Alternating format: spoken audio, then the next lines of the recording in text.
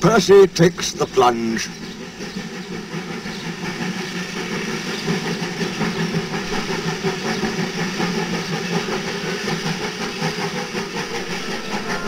Sometimes Percy takes stone trucks to the other end of the line.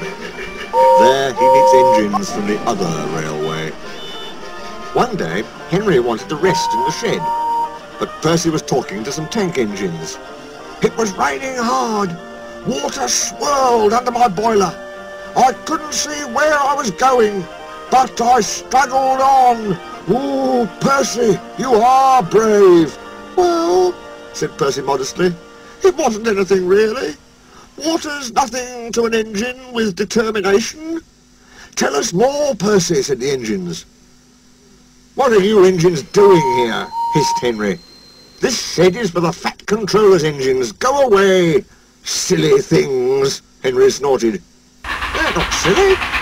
Percy had been enjoying himself. He was cross because Henry had sent them away. They are silly, and so are you, Water's nothing to an engine with determination. Pah! Anyway, said cheeky Percy, I'm not afraid of water. I like it. He ran away singing, Once an engine attached to a train was afraid of a few drops of rain. Percy arrived home feeling pleased with himself. Silly old Henry, he chuckled.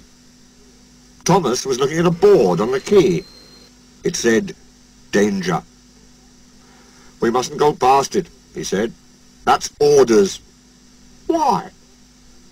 Danger means falling down something, said Thomas. I went past danger once and fell down a mine.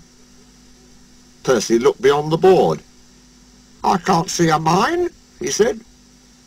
He didn't know that the foundations of the quay had sunk and that the rails now sloped downward to the sea. Stupid board, said Percy.